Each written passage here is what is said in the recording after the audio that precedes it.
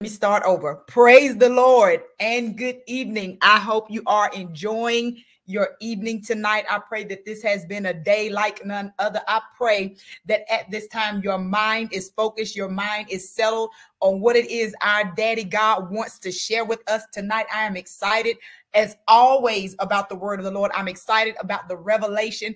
I'm excited about the deliverance that takes place after his word is shared. I'm excited that he just allow us to keep sitting at his feet and he keeps feeding us. In his in his word, he says, He that is hungry, let him come. He that is thirsty, let him come. So I am excited that every time I am hungry for the word, my daddy feeds me. Every time I'm thirsty for the word, my daddy gives me drink. So I am excited. I hope you are excited about these episodes. We are on episode 108. My God. I am so excited about that. God has been faithful, He has been consistent. And I just am excited about all the miracles and testimonies that are taking place because of sold out international. Listen i had i already shared it when when it, this live started. The first slide that i shared was the live of the uh, was the pro- promo for the shut in coming on may the 5th listen i think about 30 or 40 people have already registered as long as you register um, before that, I, I have a cutoff. It'll be sometime in late April, maybe early May, because I want to make sure I have all the sheets. If you ever followed my ministry from years ago, they know about those white sheets. I consecrate those sheets. That is a whole process that I go through. It takes me days and weeks to go through that, but I want to consecrate sheets. Why do, why am I consecrating sheets? If you're reading the New Testament, you, in the New Testament, um, it talks about handkerchiefs that they prayed over and people were healed. So I God gave me this um this revelation to just pray over sheets years ago, I think. And I was actually looking back. The last shut in that I did, listen to this, was in 2008. It is not until now, we are in 2023, that God has released me to do another one. I have not had a shut in. I, I've held them at churches, hotels, held them at my home, but God has not released me until now. This shut in is so powerful. It's a divine appointment. I know y'all hear me say that, and I don't want you to take that lightly. Oh, she always saying it. No, when when when I say that, I know, I already know that God is going to show up. I already know miracles and signs are, are going to follow whatever he do. And so when God released to me because we had some scheduling with the band, we had some scheduling um, issue conflicts with a few things. And I was saying, okay, well, I'm just gonna have sold out like I always have it, and I'm just gonna do God, just do what you always do. And he interrupted me. He said, No, no, no, time for a shut-in. And I got nervous because I'm like, oh Lordy, because I know what that entails for me. Um, but basically, when we shut in, is if, if you ever been um, because I, I was raised when, when I came up, my first call was to be an intercessor.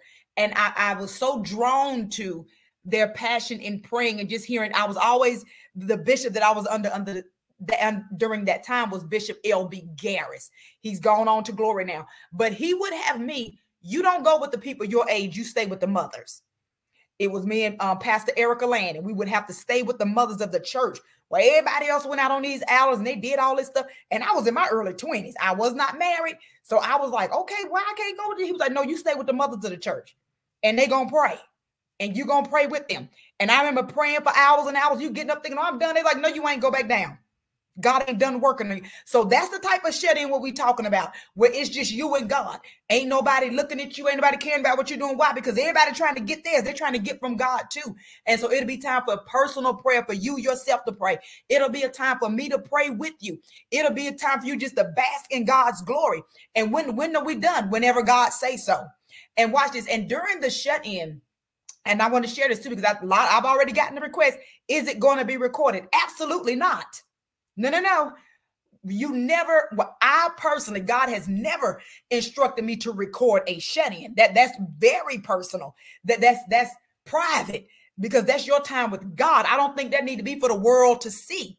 That that because it's breakthroughs, it's manifestations that's happening. God is coming through, people getting filled with the Holy Ghost and all these different things, and you don't want to take that for granted and let anything stifle that move because they said, "Oh, I'm getting recorded." So even if you see my shut in, I mean my um my services now, we go live and sold out. When they get to that point, I tell my daughters, turn the camera off. So it's certain if, if you're thinking when I'm just gonna sit at home and I'm gonna watch the, the shut in on, on Facebook, no, you're not. You may see some pictures of just me or whoever. General pictures may go up Saturday, Sunday, but that shut in will not be recorded.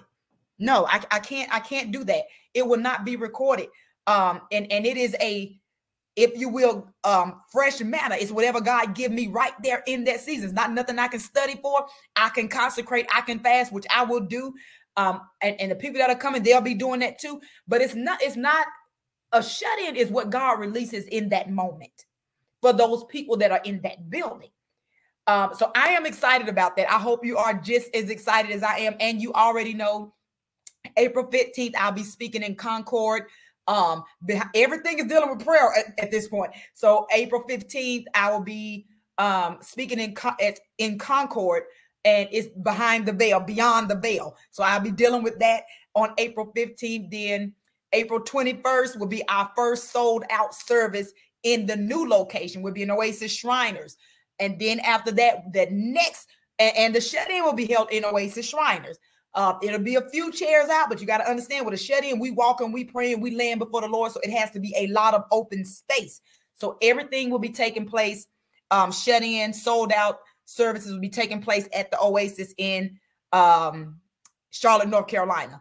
Okay, so that is, I think, all of my announcements. Are you ready for the word of God on tonight? I am so excited about this word on tonight. Listen, when, when, when God began to deal with me with this word, he began to tell me, he said, many of the people that come for deliverance, many of the people, because, and, and when I say many people that come for deliverance, I don't want you to think, oh, that's just the people that's going through. No, we all, we all, if you are anywhere in God, at some point in your life, at some point during your walk, you need a deliverance for something. You need deliverance from something. It could be a nasty attitude. It, it don't always have to be, oh, I was a drunk, or I was drinking, or I was on drugs, or I had a problem. No, it could be that you just eat too much. It could be that you you watch TV too much. If any anything you have to break a habit, that is called you need deliverance. Okay. So so God began to tell me, He says, daughter, listen. He says what they need to understand is that their deliverance will come. Listen to this, because you have people that wrestle with deliverance. Why I ain't delivered yet? Why I'm still dealing with this? Why I'm still going through this? Why I keep going around the same mountain over and over again? Why I keep we, we talked about issues last week, so now we we on another phase of this. Watch this.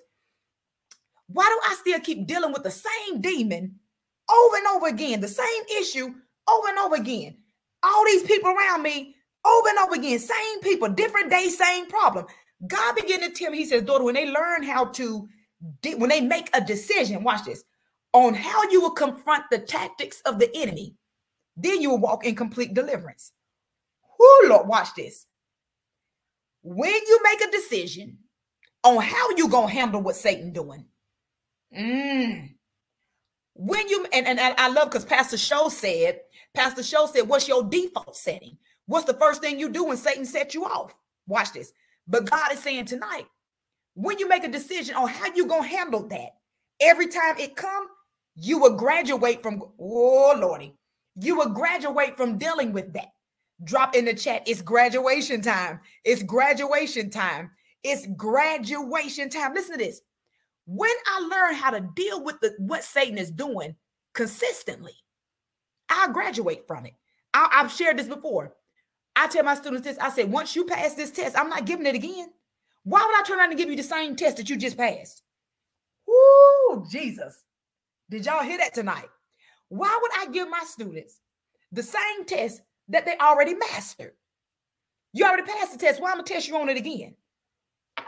Do y'all hear Holy Spirit on tonight? Watch, listen to this. So our scripture for tonight is Jude, J-U-D-E. Jude 1, verses 24 through 25. Listen to this.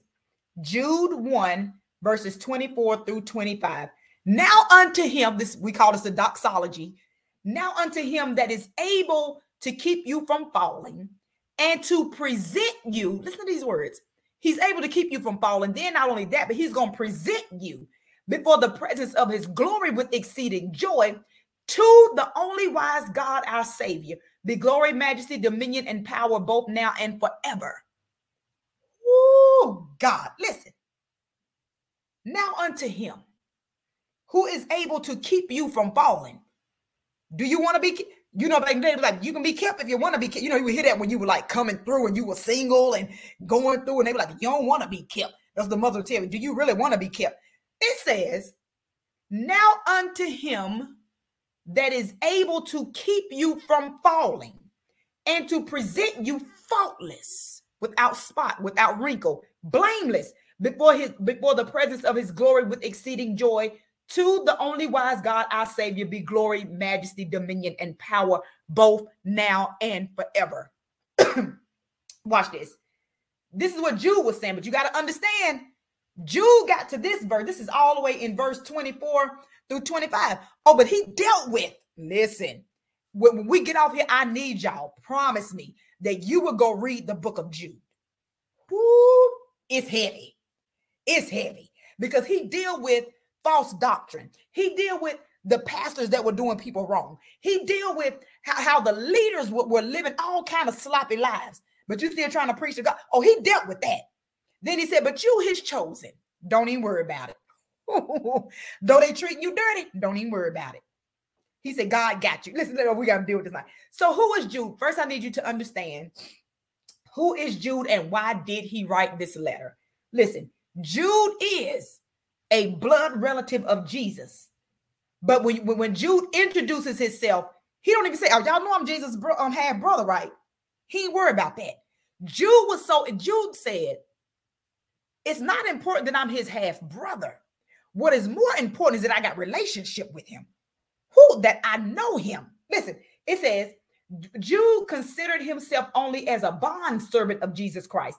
The fact that he wanted himself to be known this way instead of introducing himself as Jude, the half brother of Jesus, tells us something of the humility of Jude and that the relative unimportance of being connected to Jesus by human relationship. He said, he said, above, oh, Jesus.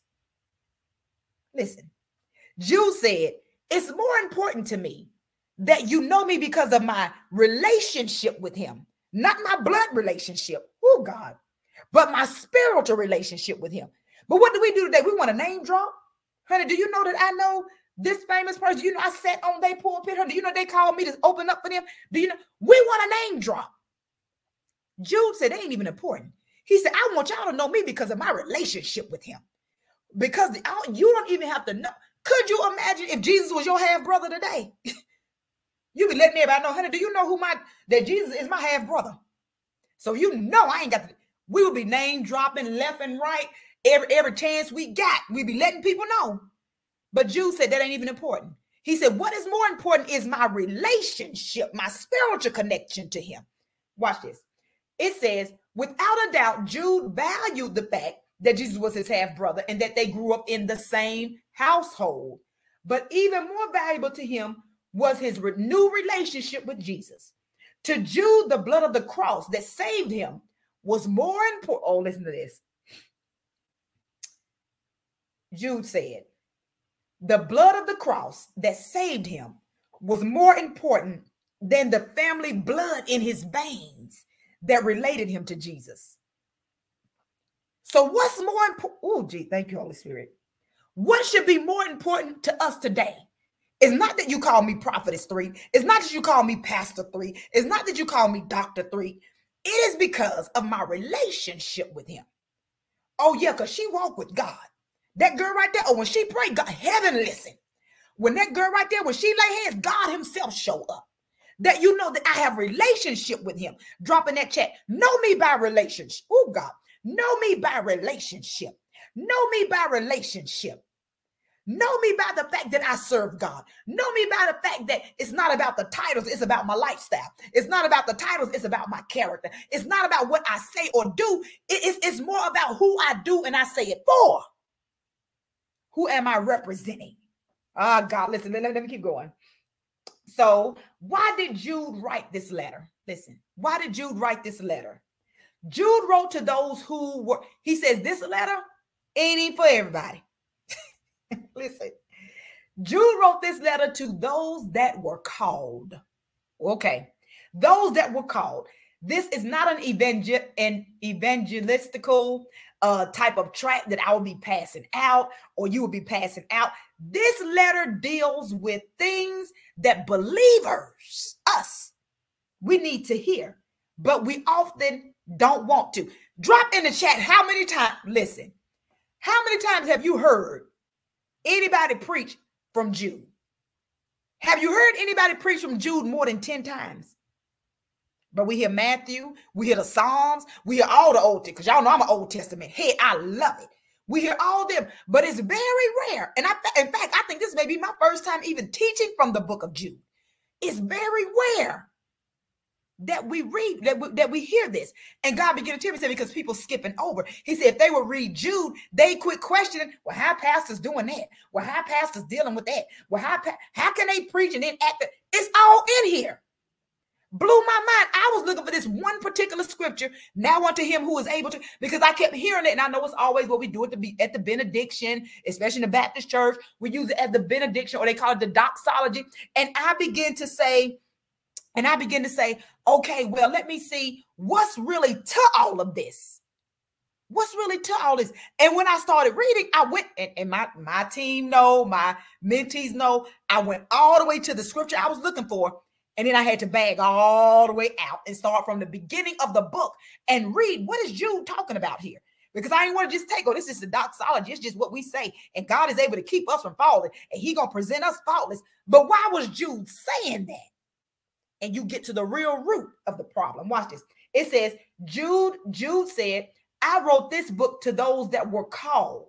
Listen, he says, because they needed to hear what, what I had to say, but they don't, they often don't want to. Jude identified his readers as Christians in three specific ways. He said, This is how I am going to know that you are the called. Watch this. He says, A, a called person is a person is a Christian because God has called him. The important thing is to answer when he calls you. Uh oh. Jude said, he says, I'm writing this for three specific, three specific Christian types. They are called. He says, when God called you, he said, the important thing is that you answer him. He says, two, they are sanctified by God. This means that they were set apart you're not like everybody else. You can't do what everybody else say. You can't go where everybody else go. You you you know you different. You set apart. Listen, that's what sanctified means. Set apart. Ain't got nothing to do with you wearing no long dress. Nothing. It says, Are you set apart? Can they tell you're not like everyone else? Can they tell you are different? That is why it should be some difference from the world and the church. Come as you are, but you're not going to stay. Because if you come, if you come as you are and you never change, then something I'm preaching ain't right. Because his word is active, it's alive, and it changes us. Oh God, listen. So what is the what is he says? Identify, he said, identify Christians in three specific ways. They are called, they are sanctified. And he said, three, oh, watch this. Three, they are preserved in Jesus. Jesus Christ is their guardian and their protection their guardian and their protector. He said, that's how I know who, who, who I'm. He said, he says, this is how I identify who this letter is going to. This letter is for the called. This letter is for the sanctified. And this letter is for the protected. Who? Listen. Listen. The called, the sanctified, and the protected or the preserved. Drop that in the chat.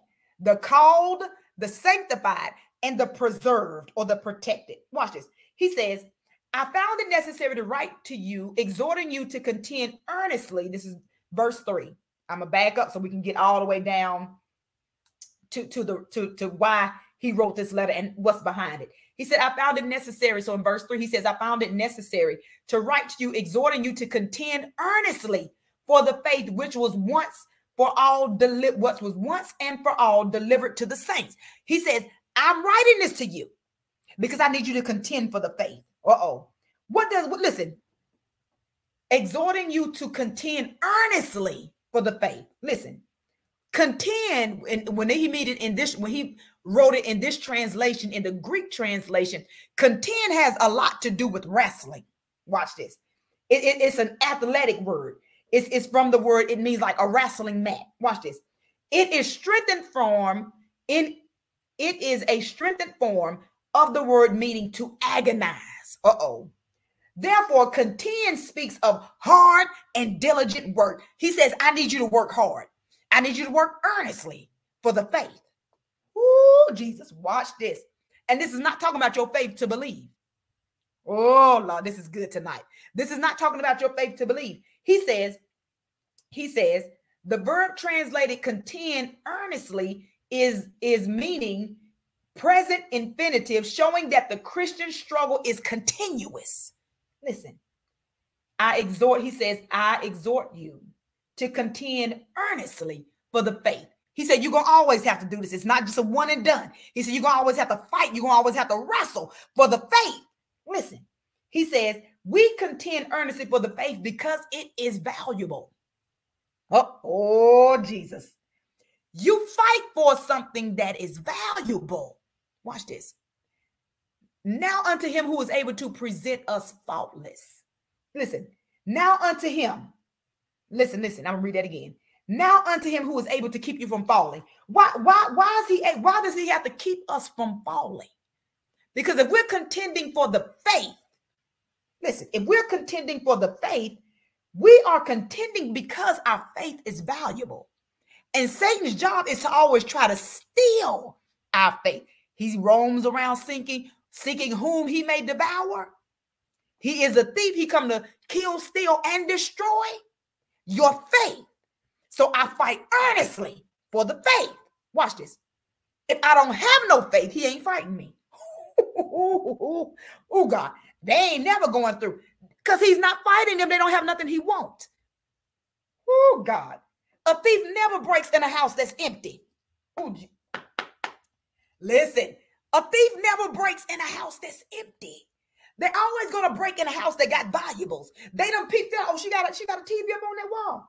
Oh, she got all them electronics. Oh, I seen them boxes out there by her trash. So that means she got some valuable stuff in there. Every time I every time I drive by, I see a furniture truck. Oh, then I seen this truck. Oh, and I see she always getting deliveries. So I know it must be something valuable ah, God, in her house. So what is Satan saying?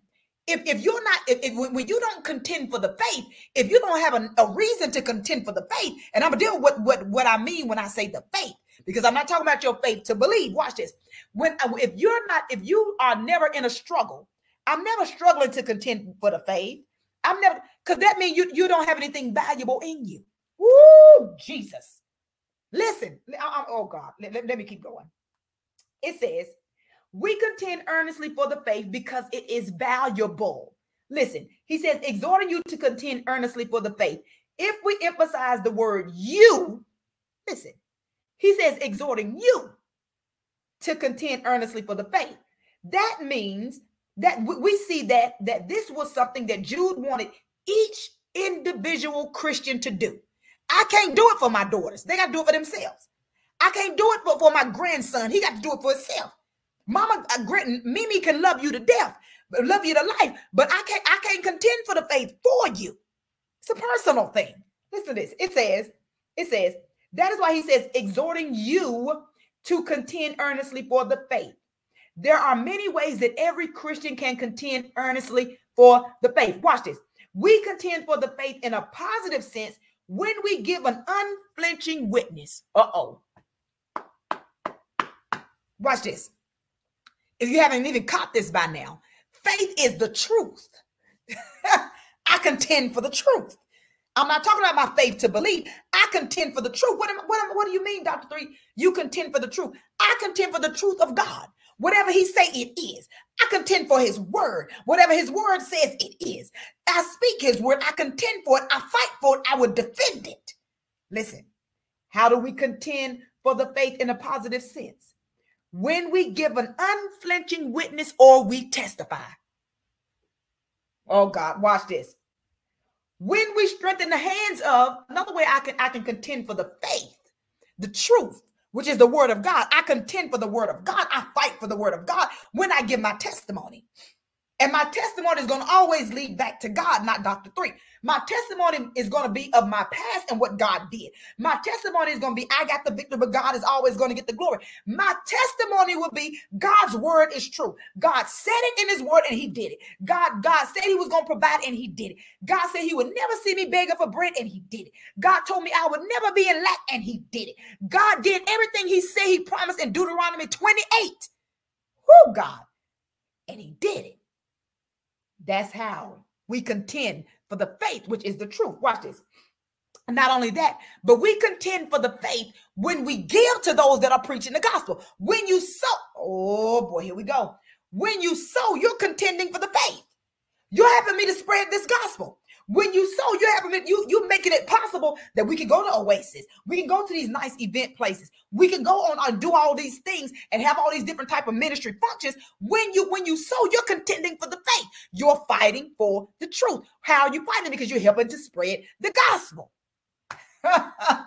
contend for the faith. Watch this.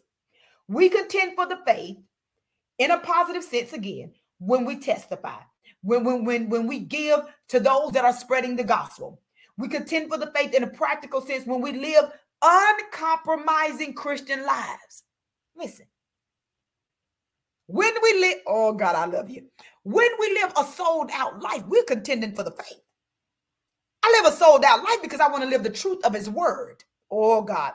I live a sold out life because I want somebody to look at my witness, look at my character, and say, It's something different about you. Can you tell me about?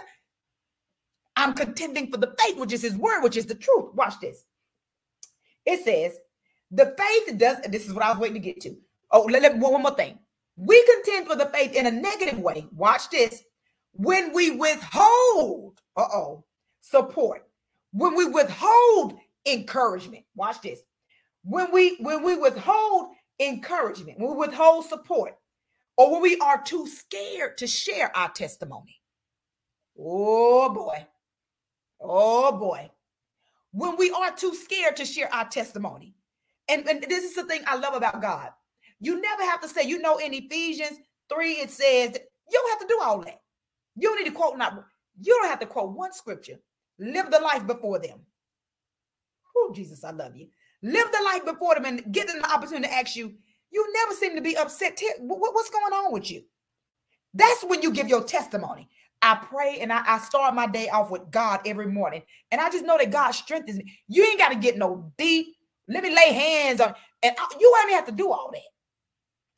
Listen, your whole life can contend for the faith. Your whole life, your whole walk, what you say out your mouth. Because I can guarantee you, some people will never read a Bible, but they read you every day. They study everything you do. They watch everything you say. And if you ever say, Oh, I love the Lord, I'm praising, and the minute you mess up, I knew it. I knew it. They just sit and they watch you. Listen, watch this. Drop in the chat. I'm going to contend for the faith. I'm going to contend for the faith. Listen, for all means, listen, the faith doesn't mean our own personal belief. Watch this. Or faith in the sense of our trust in God. This phrase the phrase the faith means the essential truths of the gospel. I will fight for the gospel. I will fight for what God says. I will share what God says. I will testify to the goodness of God. Listen, it says, this phrase faith means the essential truths of the gospel that all true Christians, believers, disciples of Christ hold in common. We must contend earnestly for the truth. Not the truth of what Dr. Threatt said, but the truth of his word. He said his righteous will never be. He said, when the righteous cry, I heal them. I hear them. He said, I'm the head and not the tail, above and not beneath. I believe all that. That's the truth of the word. Oh God. So do you believe it? Are you testifying to it? Is that what you're speaking out of your mouth? Watch this. Then verse 4, and, it, and I want and I was backing up. In verse 4, he says, he says, let me see, I, I don't want to, I don't want to get ahead of myself. For it says the essential truths of the gospel that all true Christians hold in common. We must earnestly, we must contend earnestly for the truth which is the faith. For all means that this faith is for everybody. Listen to this. We don't have an option to simply make up our own faith and still be true to God. This faith is for all, but today it isn't that popular. Watch this. Today is it, it isn't popular to really believe in the faith once for all delivered to the saints. Instead, most people want to believe in the faith they make up as they go along. Making up rules as I go along in life. That's what I'm to just believe in. That's my truth. You didn't heard it. I, I'm to speak my truth. Really? Because the truth I know is the word of God. So what is your truth? Oh, listen. Drop that in the chat. The only truth I know is the word of God. Woo! Listen, because you got to be careful of a lot of this stuff we hear and we want to repeat it. I'm going to just speak my truth. Okay, speak your truth. Ooh, Lord, you know, scary when you think about it, right? Listen, he says, he says, it says, it says, instead, most people want to believe in the faith that they make up as they go along and decide it's right for them. More people believe in the faith that's in my heart, my personal truth, than they believe in the faith, in the faith once for all delivered to the saints. I want to believe in my own personal truth. I want to believe in the truth of what this Bible saying. Oh, Jesus. My own personal truth is you did me wrong, I'm going to get you back. I don't want to believe the truth in the Bible that says, Vengeance is mine, saith the Lord. Uh oh. I want to believe, oh, I'm cutting you off. Okay. But the Bible say, forgive him 70 times 70 in a day. Which truth you believe in? Well, it's tight, but it's right tonight. Listen, listen. Let, let me keep going because I don't want to run out of time tonight. Listen, verse 4. So we in Jude 1. Verse 4 says, We should contend for the faith. We need to contend for the faith because there are dangers. Listen, listen to this. It says we need to contend for the faith. Why? Because there are dangerous men among Christians, men and women. For certain men have crept in. Listen, listen to what the Bible says. They have crept in unnoticed, who long ago were marked out for this condemnation, ungodly men and women who turned the grace of our God into lewdness. Listen, and denied the only Lord God and our Lord Jesus Christ. Listen, Judas said you got to continue, you have to fight for the truth. Because there's some people out there spreading some type of what they call the gospel, and it's not the truth. He said, So I need those that know God. I need those that are Christians. I need those that are blood washed. I need those that are born again. I need y'all to speak up. I need y'all to stop being timid. I need y'all to testify because there's a whole remnant of people out here that, that's got some type of message going on, and it ain't about our God. And Jude was angry. He said, I need y'all to contend for the faith. Because we wonder, and, and, and you you know you've been there, you wondered, how can pastors or leaders do this and still get up in the, pre- in the pulpit and preach? How can they treat people like this and still get the pulpit and say, but God is God to look? And we looking like, really? Because I just saw what you did. Jude addressed it. He said they they mixing this stuff up. They got their what did I say earlier? They got their truth. They don't have the truth of God. They mixing some stuff up, intertwining some stuff, and trying to present it like it's the gospel. And Jude said that's not gonna work. I need y'all to fight for this truth. I need y'all to fight for this word. I need y'all to fight for what our Savior died for. I can you can you fight? Oh Lord, help me, Holy Ghost. Listen, he says so. He was warning us. This is why. Then we get down to verses five through nineteen, and that's why you are y'all would tonight. Please go back and read this. Verses five through nineteen. He deals with the characteristics. He point them out. I was sitting there reading this like, oh my God. And I'm be honest, when I was reading, I was like, oh, this is this person. This is this person. This is this. And I was just like, oh my God, oh my God.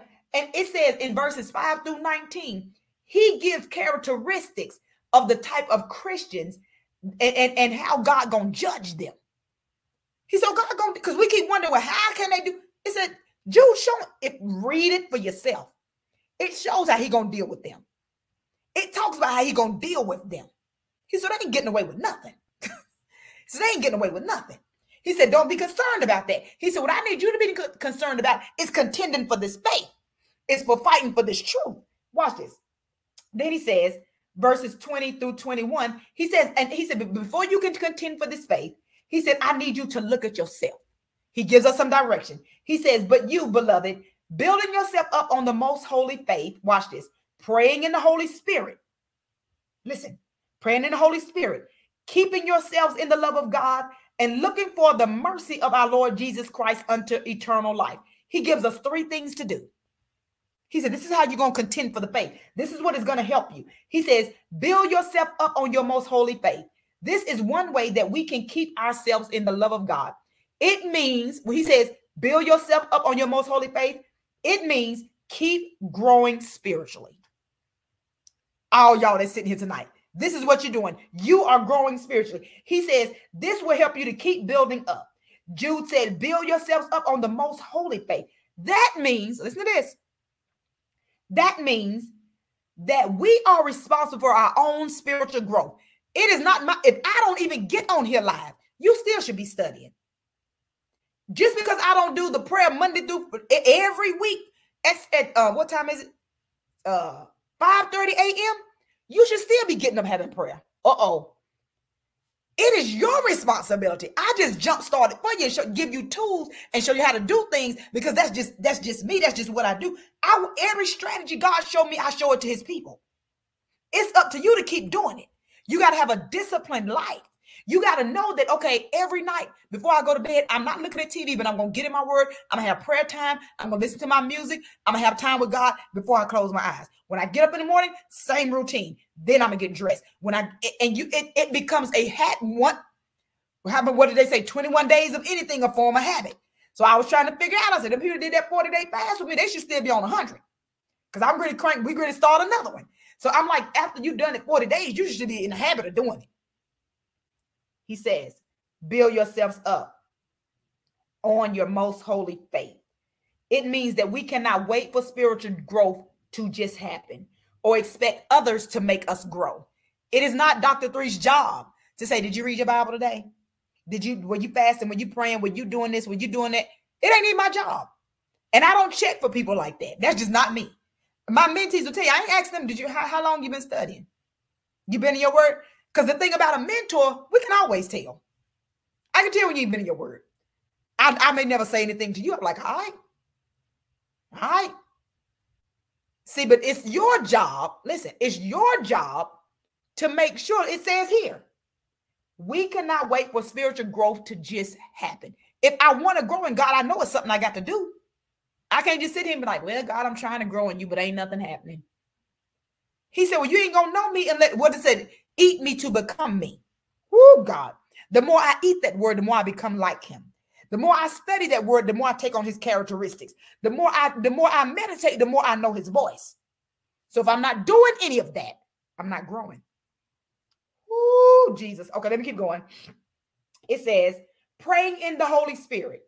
Praying in the Holy Spirit. This is another way to keep ourselves in the love of God. The battle against wrong living and wrong teaching is a spiritual battle requiring prayer in the Spirit.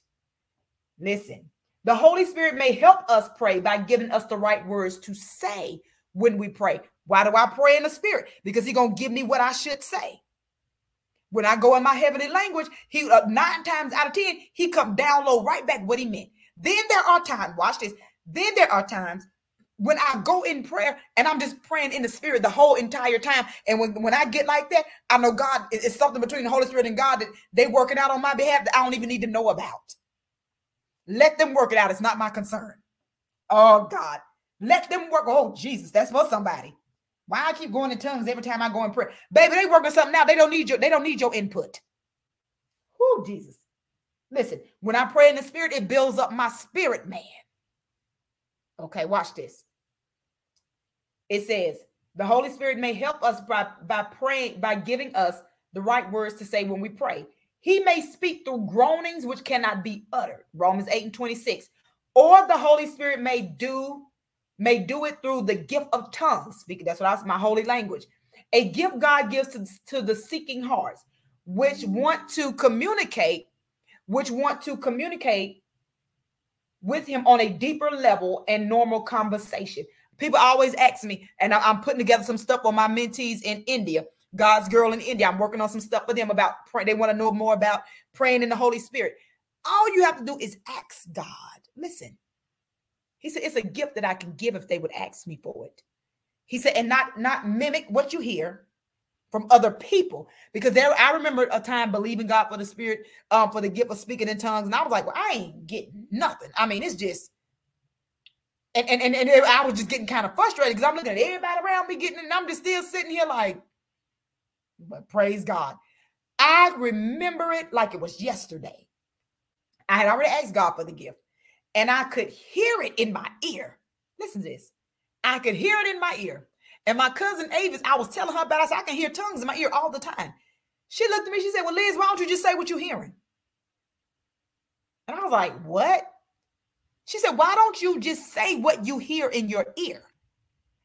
I, I was sitting at the table getting Whitney and Brittany ready for school. They were going to uh, daycare. Had, so that means they were about one or two years old. Getting them ready for daycare. They probably weren't even two yet. They, had, they were probably one. Getting them ready for daycare. And I was just, you know, talking to the Lord, and I began to hear it get loud and loud of my ear. So I just started speaking, and I'm telling you, I spoke in the Holy Spirit for nonstop. I think they missed the van and everything because I ain't even opened the door. I was just gone. And I remember calling my grandmother, Mother Paulin, and I told her, and we just she went up and I went up. We were just going in the Holy Spirit, and it was the most. Oh my God, I could just it's like I can imagine, it's like I can still feel that feeling because I had been asking him for it. And my cousin was like, Avis said, why don't you just say what you're hearing? And, and, I will be honest, at first it does sound because it's just like a baby learning to talk. It's a new language to you. If you if you learning how to speak Spanish today, it is not gonna sound like somebody that was born speaking Spanish. It's like a baby learning to talk. The more you speak it, the more mature it sounds. The more you speak it, the, the more, more the more words will form. Listen, listen. So he says, praying in the spirit, it builds up, it, build, it will build you up. It will give you the right words to say. Then he says, the last one, looking for the mercy of our Lord Jesus Christ unto eternal life. This is the third way that we can keep ourselves in the love of God. As we keep the blessed hope of Jesus soon return alive in our hearts. This effectively keeps us in the love of God and helps us to not give away our faith or to not give away our truth or to not dumb down our truth. Why? Because I know He's coming back. Mm-hmm. I got to be ready when he come back. Oh Lord. So that keeps me sharing this gospel. That keeps me sharing this truth. That keeps me giving my testimony. That keeps me living a life before men. Watch this. Then he says, take a look outward to those around you. Jude tell us to show compassion on others. He says, take a look upward, verses 24 through 25. He says, take a look upward to the God of all glory. That is when he says, now to him who is able to keep you from stumbling, to keep you from falling, and to present you faultless before the presence of his glory with exceeding joy. Now unto him. Jude closed his letter with this famous doxology. We call it a brief declaration of praise, or you may call it the benediction that they, you often hear. Jude's doxology reminds us of God's care in our destiny. He says, Listen, I don't care what these other religions are doing. I don't care about these false doctrines. I don't care about these about these preachers that's, that's doing whatever they're doing and mixing their truth.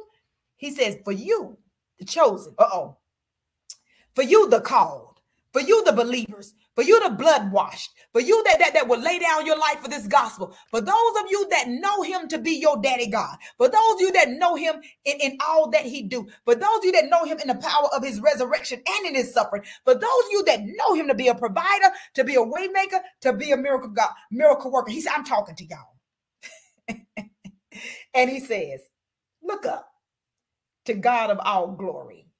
He said he is able to keep you from falling and he gonna present you faultless.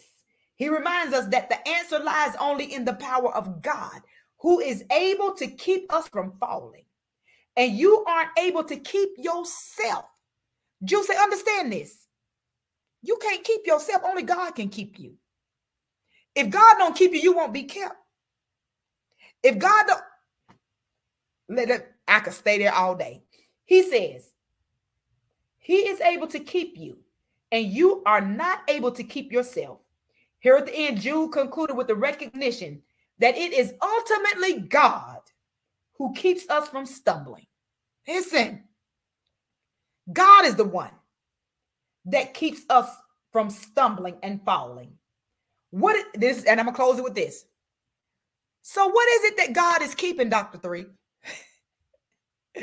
oh Lord, I love you. I love you. I love you. What is it that He's keeping? Is He keeping my flesh? Woo, this is good tonight. Is He keeping my flesh? What is it that He's actually keeping? Oh God, I love you tonight. He is keeping His word. Uh oh, here we go. Remember we talked about them issues, but His word gonna stay. That word He spoke of you, that's what He keeping. And watch it. We say, I am able to keep you. And remember, He said, He says, contend for the faith, contend for the truth. The truth is His word. So I'm fighting for His word. So because I fight for His word, I contend for his word. I'm testifying, I'm living it, I'm walking it out. He says, so therefore I'm going to keep you from falling. But when what I am not real, I'm not keeping your flesh. I'm keeping my word that's it. Oh God, I'm keeping my word that's in you. Uh-oh. So we wonder how some people came. They always going through. Is his word in you? Because his word, if his word is in you, he gonna keep his word. Ooh, listen. God is going to keep his word. When his word is in you, you won't fall. Mm, God. When his word is in you and you contending for the truth, I'm fighting for the truth of his word. That means every time the enemy comes and says, you're going to lose your job. Mm-mm. God said his seed will never be begging bread.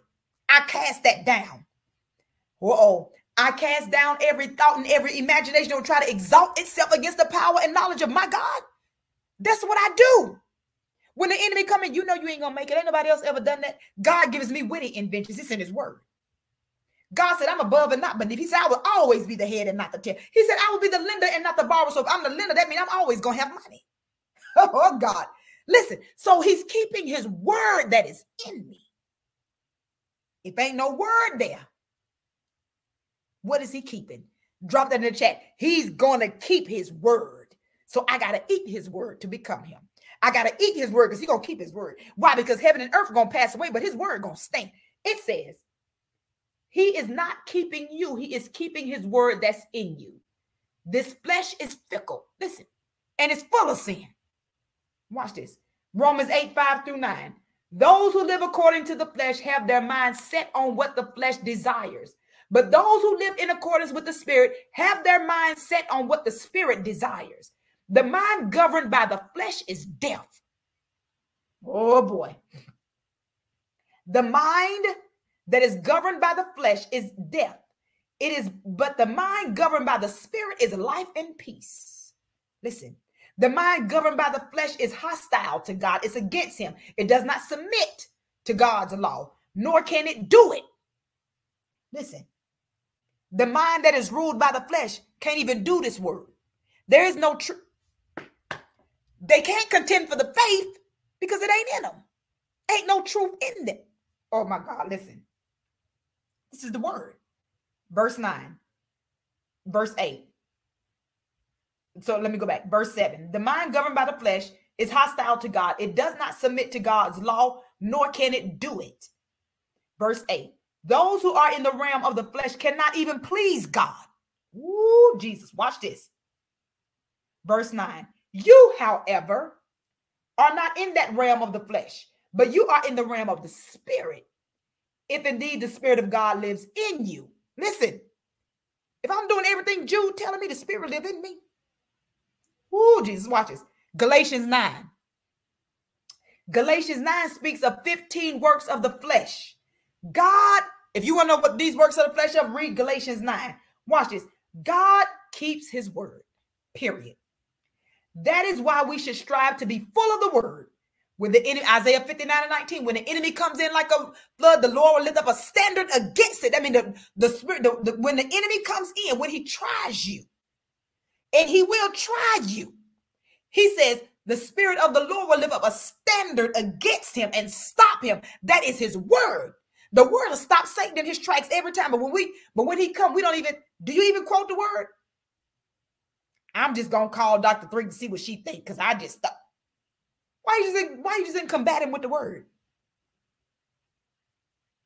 Listen, because what's in you gonna come out. When you get in trouble, what's in you gonna come out. Watch this. Listen. Heaven and earth shall pass away, but my word shall forever stand. Matthew 24 35.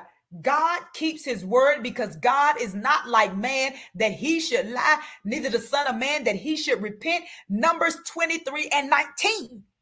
He said, I can't lie. he said, once you speak my word, I got to come through. He said, once you speak my word, it can't return unto me void. It has accomplished all I sent it out to do. Watch this. Then Jude closes. He says, He will present you before the presence of his glory with exceeding joy. As God is faithful, we won't have to slink back shamefacedly. He said, I'm going to present you before my Father. And you can go with authority. You can go with boldness. You can go with clarity. You can go with quoting the word. Listen. He said, with exceeding joy. Then he closed it out. Who alone is wise, be glory and majesty, dominion and power, both now and forever. He, this reminds us, Juice, I'm letting y'all know God's wisdom, glory, and power is unto all ages. He said it's, it's, it's never going to change. He will always be glorious. He will always have all dominion. He will always be the highest ranking supreme God. There is none like him in all the earth. There's none above him, none but no, no one like him. No one can stand beside him. He is God. And he is the reason why we contend for the faith. He is the reason why we fight for the truth. He is the reason why we do what we do. He is the reason why we why we represent him. He is the reason why because he's coming back. And we have to be ready. Listen, I love you. I love you. If you want to sow, the information is on the bottom of the screen. This is your seed of truth tonight. Oh God. I'm sowing my seed of truth. I'm sowing my seed of truth. I'm going to fight for this truth. I'm to what, what, what okay. What is God saying? when you sow your seed of truth, he said, What you are telling me, listen to this because I want y'all to hear.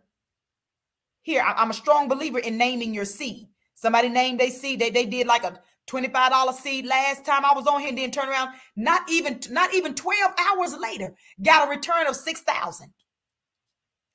I'm an advocate. It is something God has always told me to do. He says, daughter, he said, I know I have you sowing all these different places, but every time I have you to sow, it's for a reason. Every time I have you to sow, I need you to name the seed. Every time I have you to sow, I need you, you to be purposeful. Watch this. So tonight, your seed is my seed of truth. What are you saying? Because everything that I speak out of my mouth that God says about me, it is. Oh God, help me, Holy Ghost. I feel this tonight. Everything I speak out of my mouth concerning my children, it is. Everything I speak out of my mouth concerning my, my, my, my finances, it is. Everything I speak out of my mouth concerning my health, it is. Why? Because I'm speaking the word. Woo, Jesus. Because I'm speaking the word. Listen, listen. Get your seed in the ground tonight. Oh God, get your seed into ground in the ground tonight.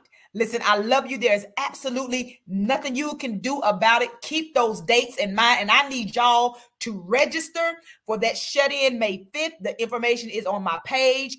Register, register, register, register. It's on Eventbrite. It is a free event. It's just that I'm I'm gonna consecrate sheets, so I need to know who the sheets are going to. Listen, I need you to register. I need you to get your family. And many of you that's been to my shut-ins, it is for men, women, and children, not just not just women. It's not a women's event. Listen, it's for, for the everyone. It's for everyone.